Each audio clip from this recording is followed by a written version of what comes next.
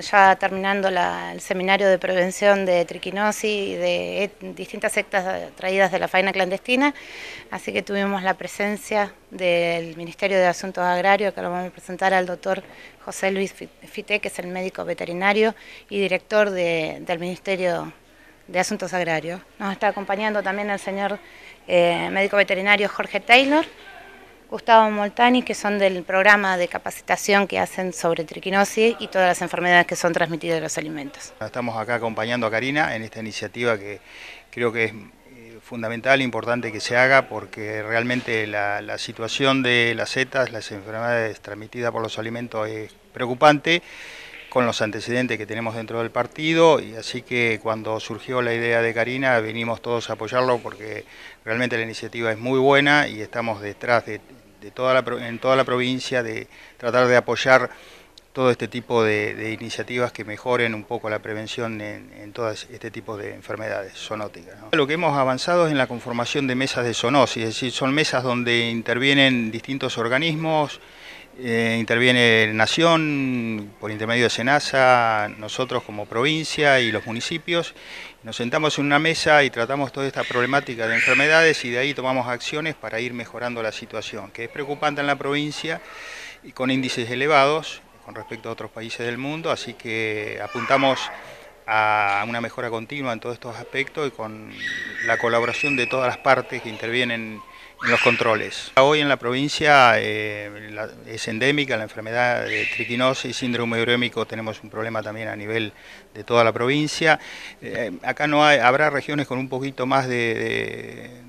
prevalencia que otras, pero todos estamos en el mismo la misma problemática y tratando de resolverla. Es muy interesante, hemos vivido otras, otras mesas eh, o otras actuaciones de este tipo, eh, seminarios eh, en la provincia y todo suma, aparte bueno, la, gran colaboración de la gente de, de, los partidos también que vinieron vecinos, así que es interesante porque hay mucha gente, mucha gente, son yo creo que de las reuniones que hemos participado, una de las reuniones de más gente